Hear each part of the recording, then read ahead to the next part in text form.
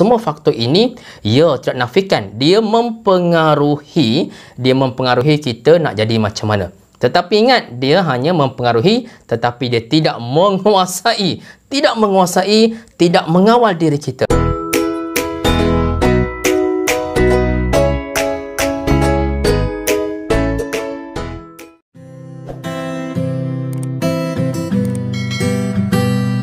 Bismillahirrahmanirrahim. Assalamualaikum warahmatullahi taala wabarakatuh dan salam sejahtera. Terima kasih, terima kasih, terima kasih kepada semua anda yang kerana terus setia bersama dengan saya di channel Cikgu Muhammad Rafizam ya.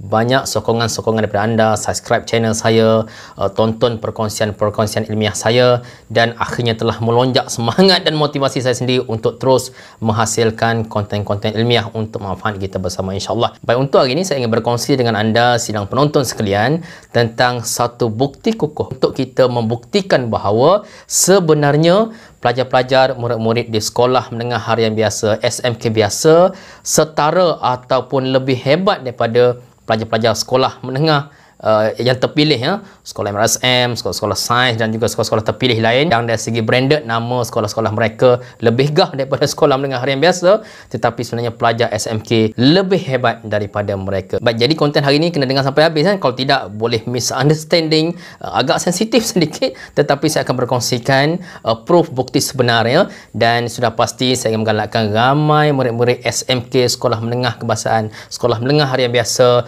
Tonton video ini kerana ini insya-Allah ya. Cikgu dah bantu ramai orang dia merata seluruh Malaysia ni. Ya, kita meyakinkan bahawa pelajar-pelajar SMK sekolah menengah harian biasa anda lebih hebat daripada pelajar-pelajar yang berada di setting sekolah yang lebih terpilih ya.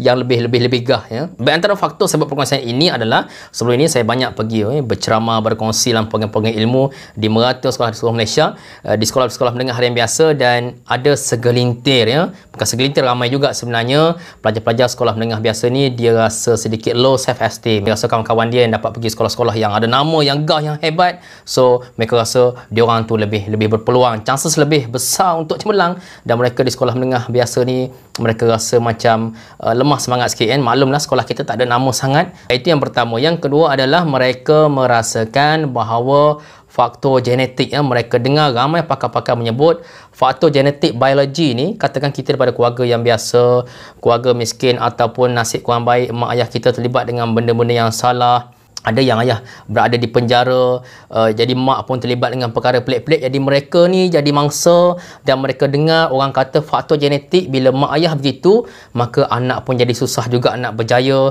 Mereka rasa mungkin chances dia orang ni tak macam orang lain. Orang lain nampak bahagia saja. Mak ayah dia orang dah pakar-pakar. Mak ayah dia orang academician yang hebat-hebat. Jadi sebab tu mereka senang je nak jadi orang hebat. Saya ni cikgu mak ayah saya terlibat dengan perkara ini ni perkara negatif jadi mereka sedih. Dihantar di pusat pemulihan dan sebagainya sebagainya jadi mereka rasa seolah-olah mereka ni chances begitu kecil chances begitu rendah nak jadi hebat seperti rakan-rakan mereka di sekolah-sekolah yang gah. Baik sebenarnya ya sebenarnya faktor genetik, faktor biologi ni uh, daripada genetik mak ayah ya, kepada anak faktor-faktor ini, faktor biologi, faktor persekitaran, faktor rakan dan sebagainya, semua faktor ini ya tidak nafikan dia mempengaruhi dia mempengaruhi kita nak jadi macam mana. Tetapi ingat, dia hanya mempengaruhi tetapi dia tidak menguasai. Tidak menguasai, tidak mengawal diri kita. Baik, contohnya kalau orang mengajak kita isap rokok, orang ajak kita minum arak, orang ajak kita terima rasuah sebagai contoh ya. Mereka mempengaruhi kita. Tetapi bergantung kepada kognitif kita, power pemikiran kita, hebatnya kita, setting perkara-perkara yang baik, untuk kita menolak. Walaupun mereka faktor mempengaruhi tetapi menguasai beza ya tadi mempengaruhi ini menguasai kuasanya ada pada kita. Jadi walaupun mereka genetik biologi ini faktor yang ini ini kajian daripada pakar-pakar psikologi ya faktor genetik ini walaupun dia mempengaruhi dia boleh mempengaruhi tetapi diri kita individu itu sendiri menguasai menentukan sama ada dia nak jadi seperti itu ataupun trait personality seperti itu ataupun berbeza dan mencapai kejayaan ataupun berbeza untuk mengubah diri dia. Kita ada otak yang sangat power, neuron-neuron-neuron, neurotransmitter dalam otak kita ini sangat power yang boleh mengubah diri kita sebenarnya untuk menafikan untuk kita jadi teruk seperti itu atau negatif seperti itu. Ya, parent kita kita tidak boleh nak ubah. Itu yang kita perlu ingat. Tetapi diri kita, otak kita dengan kita banyaklah latihan berdoa,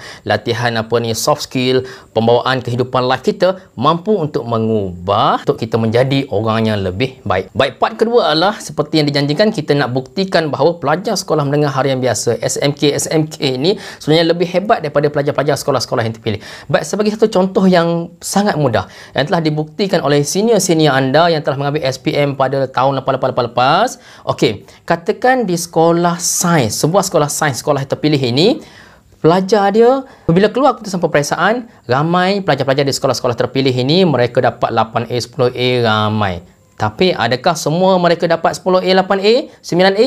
Tidak. Mungkin 20%, 30%, 40% tu pun dah banyak lah tu ya. Dan di sekolah yang terpilih, sekolah-sekolah sains, sekolah yang ada nama yang grand-grand tadi, ramai juga pelajar mereka yang SPM dapat 3A, 4A dan sebagainya. Baik, kita di sekolah menengah harian biasa, betul kebiasaannya bila keluar keputusan SPM yang dapat 10A, 8A, 7A, tidak ramai.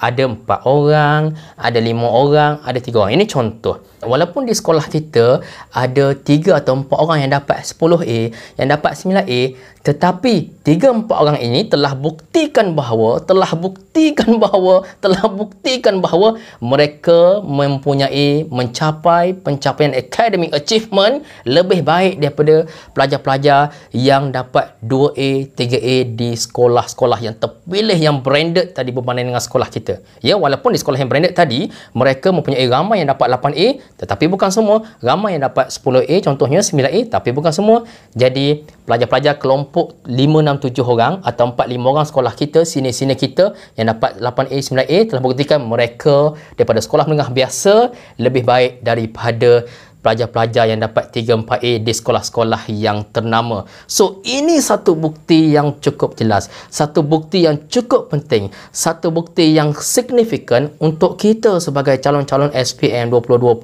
calon-calon SPM 2021 dan seterusnya 22 dan seterusnya untuk kita kita sedar dan kita yakinkan diri kita, kita katakan diri kita, kita pujuk diri kita untuk katakan Wow, abang-abang kakak-kakak aku dahulu di sekolah menengah harian biasa seperti aku telah buktikan walaupun mereka tak ramai tapi mereka dapat 10A, dapat 8A, dapat 7A, 6A dan sebagainya.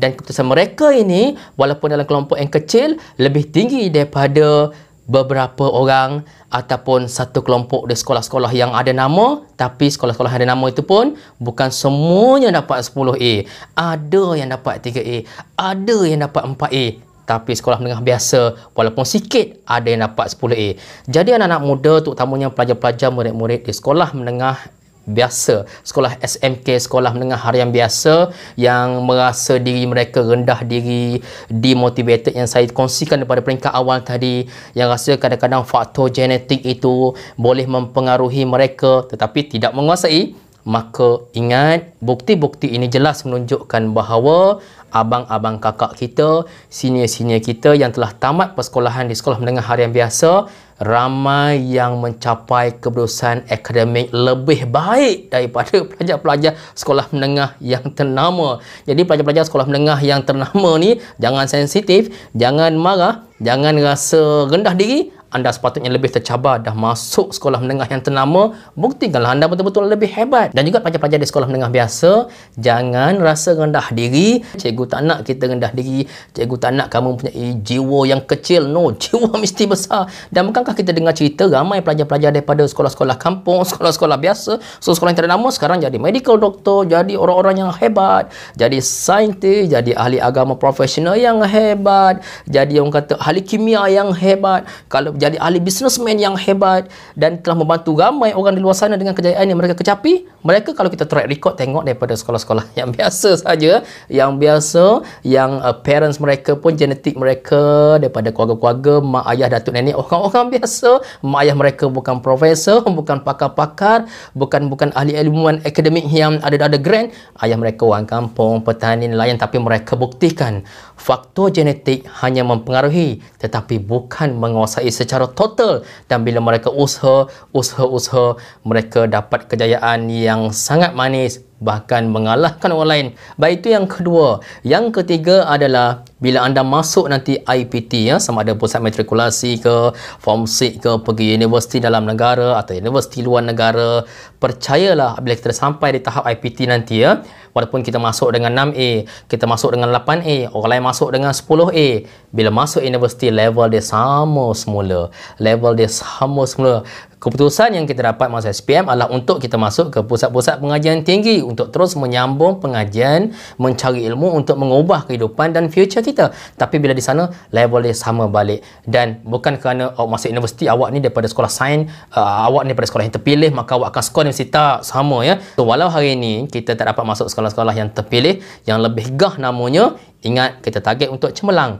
Nanti masuk universiti, kita bersaing balik jumpa dengan rakan-rakan kita yang di sekolah-sekolah hebat ini. Dan di situ kita terus buktikan ya. Saya dah bagi banyak bantu ramai orang. Semangat untuk mereka untuk terus buktikan bila masuk universiti. Kita daripada sekolah menengah biasa, kita daripada bekas pelajar sekolah menengah biasa, buktikan di universiti, buktikan di IPT, buktikan di matrikulasi, buktikan di universiti luar negara dan sebagainya kita boleh lebih cemerlang daripada mereka. Sebab apa? Sebab kita orang yang nak mengubah hidup kita tidak mau menjadikan faktor-faktor genetik, persekitaran, rakan, tempat tinggal sebagainya sebagai faktor-faktor yang telah menguasai diri kita. No. Faktor-faktor itu tidak dinafikan. Seperti yang saya sebut sekali lagi, ya. saya sebut sekali lagi di awal tadi, faktor-faktor ini semua dari segi aspek psikologi, ia mempengaruhi sahaja. Tetapi dia tidak menguasai. Dia tidak mengawal. Siapakah yang menguasai mengawal? Diri kita. Diri kita menggunakan intelijen melalui latihan, melalui doa, melalui memohon kepada Allah dan sebagainya. Kita yang menguasai menentukan faktor mempengaruhi tadi akan masuk dalam kita atau kita boleh tolak dan sebagainya. Macam tadi lah ya. So, orang ajak kita isap rokok tetapi kita tak ya pergi tempat isap rokok. Okay? Hari ini mereka ajak kita minum arak, minuman yang terlarang esok kita mungkin jarakkan dia. Tak mampu nasihat dia kita jarakkan daripada dia. Kita tidak berkawan dengan dia tidak pergi lagi tempat-tempat yang boleh mendatangkan risiko. Jadi faktor tadi hanya mempengaruhi tetapi kita menguasai untuk menolak dan menjalani mengambil tindakan tindak tanduk untuk mengubah kehidupan kita menjadi insan yang lebih baik insya-Allah jadi sekian sahaja perkongsian saya pada hari ini bukti-bukti yang jelas, nyata dan tidak boleh menafikan bahawa pelajar-pelajar SMK, sekolah menengah harian biasa, anda sebenarnya setara dan lebih hebat. Boleh jadi lebih hebat. Boleh jadi lebih hebat. Boleh jadi lebih hebat daripada pelajar-pelajar sekolah yang lebih ternama yang mungkin suatu masa dulu kita impi nak masuk tapi tak berjaya so kita buktikan semua itu ketika kita berada di bangku sekolah menengah harian biasa. Okey, terima kasih kepada anda yang sudi menonton. Saya jemput uh, especially kepada anak-anak muda remaja kita, calon-calon SPM tahun ini ke tahun depan ke untuk terus bersama-sama di channel ilmiah saya, channel Cikgu Muhammad Rizam untuk terus mendapatkan ya perkongsian-perkongsian ilmiah menarik untuk saya terus berkongsi dan membantu anda untuk mengubah kehidupan. Tak dapat ubah banyak, kita ubah sikit-sikit bit by bit, sikit demi sedikit insya-Allah dan terus berdoa terus menunaikan solat, terus menjaga diri, membawa diri kita, driver diri kita ini ke arah kebaikan yang lebih cantik, yang lebih molek insya-Allah. Jadi, Assalamualaikum warahmatullahi taala wabarakatuh.